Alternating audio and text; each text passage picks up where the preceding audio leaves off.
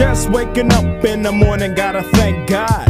I don't know, but today seems kinda odd. No barking from the dog, no small. And mama cooked the breakfast with no hog. I got my grub on, but didn't pig out. Finally got a call from a girl I wanna dig out.